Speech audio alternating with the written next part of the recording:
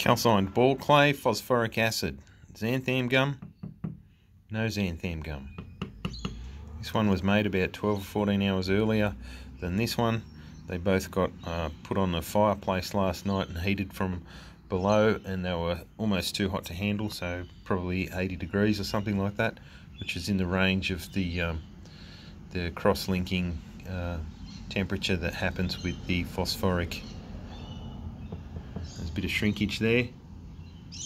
Uh, I really don't think this one's finished. There was an acrid smell coming out of the non-xanthan gum. Um, interesting, xanthan gum is used in a phosphoric... Uh, uh, what do they do? They use it in a rust-proofing uh, uh, paste or something like that.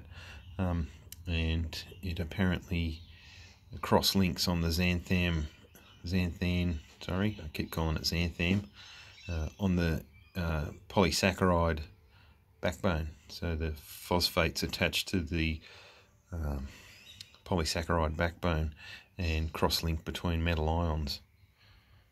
So, uh, yeah.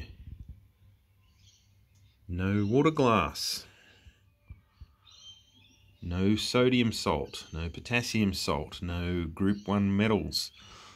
No way this is going to effloresce.